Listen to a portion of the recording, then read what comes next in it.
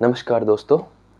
AP nursing classes में आपका फिर से हार्दिक स्वागत है। आज का हमारा टॉपिक है ग्लासको कोमा स्केल जिसको हम लोग बोल सकते हैं जी सी एस सबसे पहले अगर हम लोग बात करें कॉम्पिटेटिव एग्ज़ाम का बहुत इंपॉर्टेंट टॉपिक है जीसीएस आपसे इससे इमेज बेस्ड क्वेश्चन भी पूछा जा सकता है वीडियो बेस्ड क्वेश्चन भी पूछा जा सकता है। सबसे पहले हम लोग बात करते हैं जीसीएस का इन्वेंशन किसने किया? दो न्यूरो सर्जरी के प्रोफेसर एक तक ग्राहम ट्रांसलेट एंड ब्रेन जेनेट ने सबसे पहले ग्लास को कोमा स्केल को इन्वेंट किया। देन कब इन्वेंट किया? 1974 सबसे पहले इन्वेंशन कब हुआ? 1974 के अंदर। ये जो दोनों साइंटिस्ट थे, ये ग्लासको यूनिवर्सिटी के साइंटिस्ट थे। अगर इसके यूजेस की बात करें तो हम लोग बोल सकते हैं कि जीसीएस का मोस्ट कॉमन यूज़ होता है to assess the level of consciousness किसी भी पेशेंट के अंदर लेवल ऑफ़ कॉन्शियसनेस को आपको असेस करना है, तब हम लोग कौन सा टूल का मिलेंगे? जीसीएस अगर इसके क्राइटेरिया की बात करें there will be three important criteria that is the EVM eye opening verbal response and motor response eye opening verbal response and motor response इनके मैक्सिमम और मिनिमम स्कोर की बात करें आई ओपनिंग का मैक्सिमम स्कोर होगा that is the four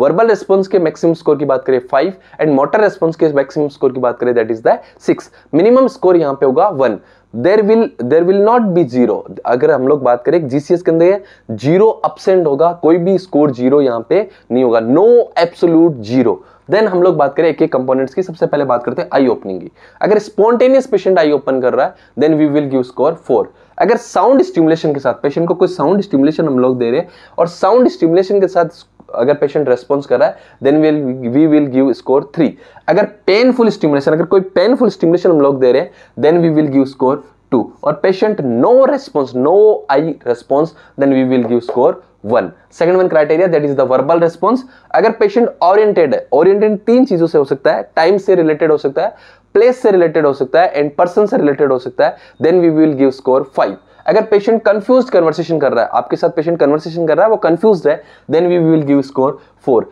inappropriate words अगर patient use कर रहा है then we will give score three अगर इनकॉम्प्रिहेंसिव वर्ड्स या साउंड्स यूज़ कर, जैसे then we will give score two और पेशेंट कोई भी रेस्पॉन्स नहीं कर रहा then we will give score one then हम लोग बात करते हैं मोटर रेस्पॉन्स की। मोटर रेस्पॉन्स के अंदर मैक्सिमम स्कोर होगा सिक्स अगर पेशेंट कमांड को फॉलो कर रहा है obey commands then we will give score six localise pain है पेशेंट को लोकलाइज पेन है then we will give score five then pain withdrawal pain withdrawal है तो स्कोर हम लोग देंगे फोर अब दो इंपॉर्टेंट टूल आते हैं। देख decorticate and decerebrate decorticate का मतलब होगा अबनॉर्मल फ्लेक्शन और डिकोटिकेट के अंदर हम लोग स्कोर देंगे थ्री अबनॉर्मल फ्लेक्शन कैसे होगा? पेशेंट है वो अपने हैंड्स को अबनॉर्मल फ्लेक्स करेगा चेस्ट पे तो ऑटोमेटिकली लेग्स का एक्सटेंशन देखने को मिलेगा। देन आता है decerebrate decerebrate posture के अंदर हम लोग स्कोर देंगे टू देखो ई e, ई e और ई तो इसमें जन जो रिस्ट है उसके अंदर जो रिस्ट का पोजीशन कैसे होगा ई e शेप के अंदर कैसे देखने को मिलेगा ई e शेप के अंदर डिसरेबिटेड पोस्टर कैसे होगा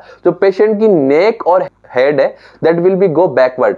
that will maintain the opisthotomos position and जो uh, arms है that will be straight and जो wrist है wrist will be like E position and जो legs है that will be straight and जो हमारे पास toe होगा the toe will be downward toe will be downward that is the decerebrated posture. अगर patient कोई भी रेस्पॉन्स नहीं कर रहा है then we will give score one अगर स्कोर्स की बात करें मैक्सिमम स्कोर होगा 15 मिनिमम स्कोर होगा वन अगर इसके क्राइटेरियाज की बात करें, अगर किसी पेशेंट का स्कोर 13 टू 15 के बीच में आ रहा है that mean fully conscious patient है. अगर स्कोर आ रहा है 9 टू 12 के बीच में then we will called semi conscious condition if score is less than 8 या 8 आ रहा है then we will consider it is unconscious state if score is 3 then patient will be in deep coma. There will not be below score from the three. अगर हम लोग बात करें,